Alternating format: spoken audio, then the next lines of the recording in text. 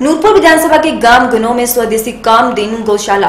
भारतीय देसी नस्ल की सहीवाल गौओं पर लगभग ढाई वर्ष से कार्य कर रहा है। इसका मुख्य उद्देश्य इस नस्ल का संरक्षण, संवर्धन और नस्ल सुधार का कार्य करना है। काम कामधेनु गौशाला के ऋषि डोगरा ने खास बातचीत के दौरान कहा कि ढाई वर्ष में हमने इस गाय की ब्रीड को और आगे ले जाने की कोशिश की है और बहुत सारे लोकल उत्पादों का भी निर्माण किया है, जिसका की अच्छा मार्केट दिखाई देता है।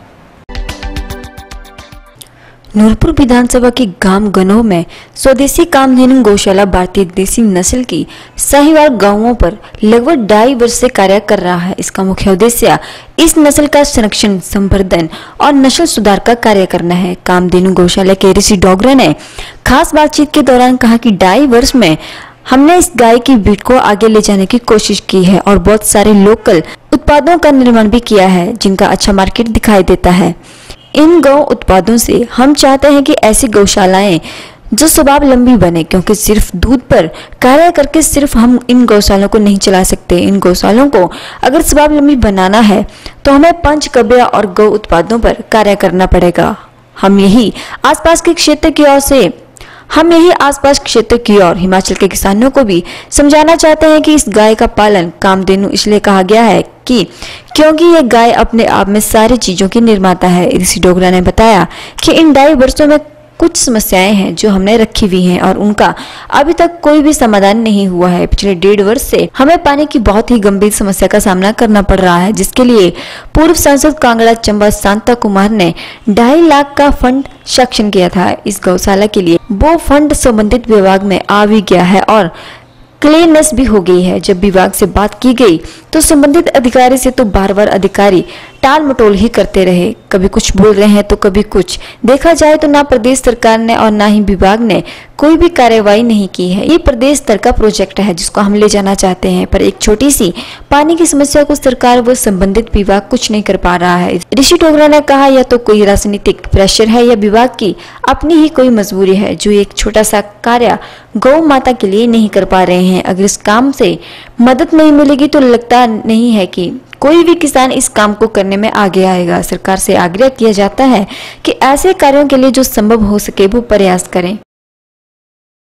नमस्कार, मैं ऋषि डोगरा, स्वदेशी कामधेनु गौशाला में आपका स्वागत करता हूँ। स्वदेशी कामधेनु गौशाला, जो कि भारतीय देसी नस्ल की साहिवाल गायों पर लगभग ढाई वर्ष से कार्य कर रहा है उसका मुख्य उद्देश्य इस नस्ल का संरक्षण, संवर्धन और नस्ल सुधार का कार्य करना है।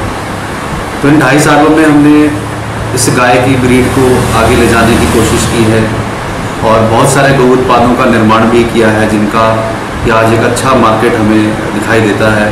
हिमाचल प्रदेश, पंजाब, हरियाणा और दिल्ली के अंदर भी। तो इन गौ उत्पादों से हम चाहते हैं कि ऐसी गौशालाएँ जो हैं, वो स्वावलंबी बने, क्योंकि सिर्फ़ दूध पे कार्य करके हम इन गौशालाओं को नहीं चला सकते हैं। इन गौशालाओं को अगर स्वावलंबी बनाना है तो हमें पंचगव्य और गौ उत्पादों पर कार्य करना पड़ेगा और हम यही आसपास के क्षेत्र के और पूरे हिमाचल के किसानों को भी समझाना चाहते हैं। इस गाय का पालन कामधेनु इसीलिए कहा गया है क्योंकि ये गाय अपने आप में सारी चीज़ों की निर्माता है। तो इस दौरान, हमारे इस प्रोजेक्ट के दौरान पिछले ढाई साल में कुछ समस्याएँ हैं जो हमने रखी भी हैं और उनका अभी तक तो कोई समाधान नहीं हुआ है। तो पिछले एक साल से, डेढ़ साल से हमें पानी की बहुत गंभीर समस्या का सामना करना पड़ रहा है, जिसके लिए हमारे भूतपूर्व मंत्री कांगड़ा चंबा की श्री शांता जी ने ढाई लाख का फंड भी सेंक्शन किया था इस गौशाला के लिए।